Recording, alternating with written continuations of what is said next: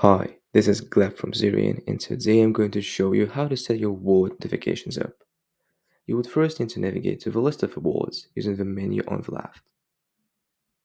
Then, click on Manage Wallets.